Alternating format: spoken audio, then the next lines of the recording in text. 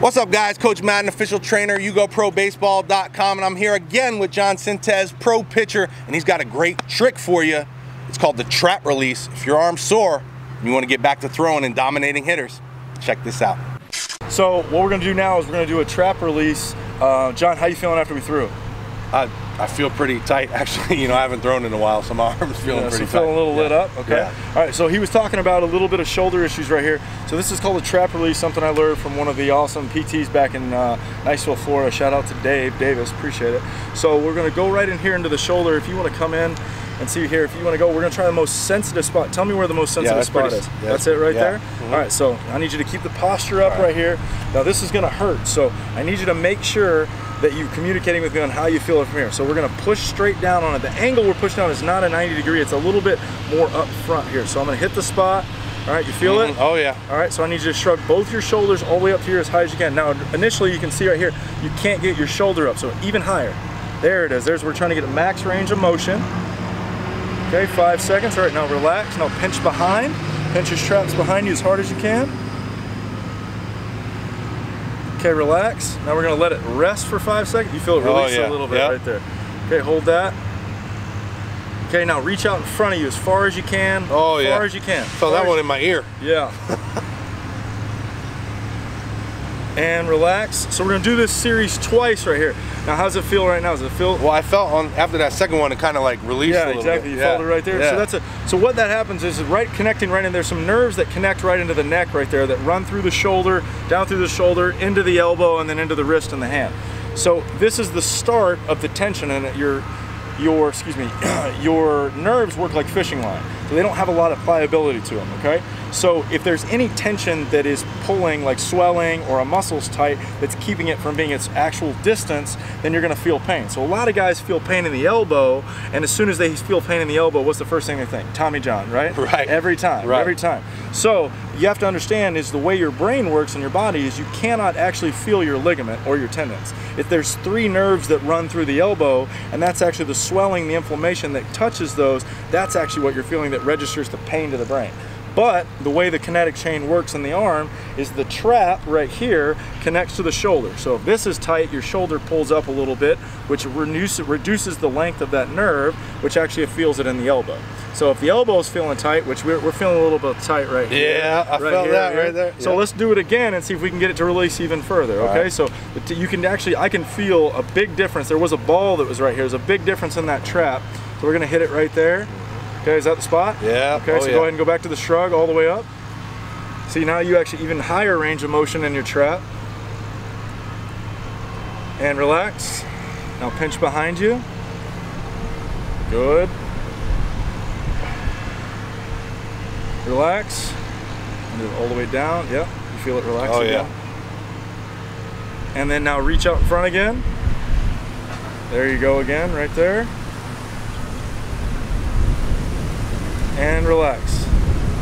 Uh, I think she's. I think she's ready to go now. Yeah, no, it, wow, yeah, it definitely feels a lot better, a lot looser in there. And I, for real, when you let it, when you came from one position to letting it relax, that's when I really felt it. Yeah, like, I could feel. I could feel the whole thing going here. Yeah. So that that's that's a great quick tip for any ball player who's got a tight elbow, tight shoulder. That's something you can do on your own or have a partner help you with, with not having to call the trainer, call the doctor first. That you could do on your own without having to, you know, freak out completely. Because if you can get it to release right there, I have a lot of guys when we get into our pull down days, really get into it, really get into it, and then they'll, ah, I'm feeling a little tight. Okay, we'll take a break, hop on a little bucket, knock that out real quick, throw a couple more. All right, they're ready to go and keep going. Because how about this? I got a little gem for you.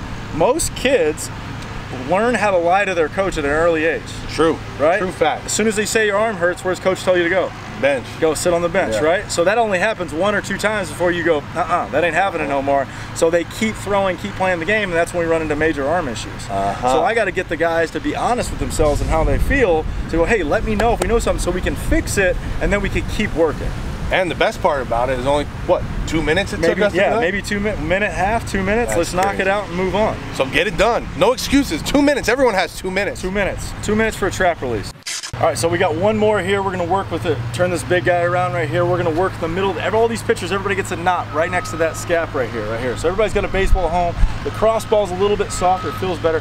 We're gonna put this baseball right here, but Jon's gonna lay on the ground we're gonna do some snow angels to really try to break up that knot.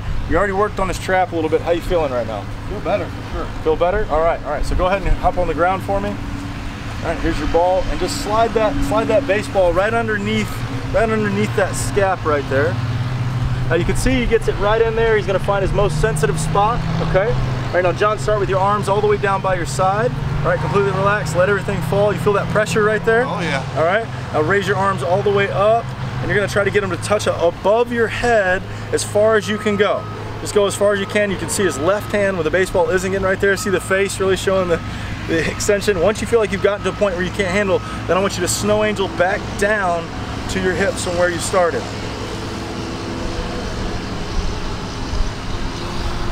How's that feel? Uh, yeah, painful.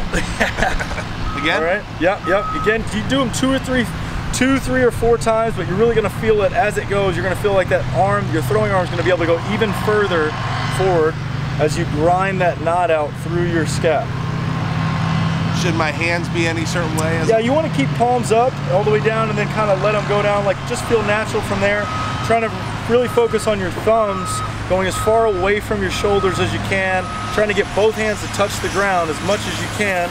This is a mobility workout to really try to break up the tightness, maybe some scar tissue that you got in there, release the fascia. Yeah, I noticed on that last one I was able to touch the ground with my right one. The Yeah, other two. I wasn't able Yeah, to. Exactly, and this is only the third one. Wow, that's much looser now. That was only four four times, right? Yeah, exactly. Wow, that's awesome. Okay, stand up, see how you feel. Yeah, much looser. But I mean, I could tell after that third one when I could touch before and I couldn't touch. So that's a great one if, if you are throwing, in the middle of throwing, you feel an issue with your shoulder or something, just knock those two exercises out. Or if you can get into a daily routine doing it, the more pliable that we can make our muscles and our shoulders, the less chance of injury. If you guys liked this video, hop on over to Jon Sintes uh, on Instagram. It's jsintes34. Cutter Nation. Check him out. He's got a YouTube channel as well. Subscribe to his YouTube channel. Don't forget to subscribe to You Go Pro. And then go check out some of these other videos we did together.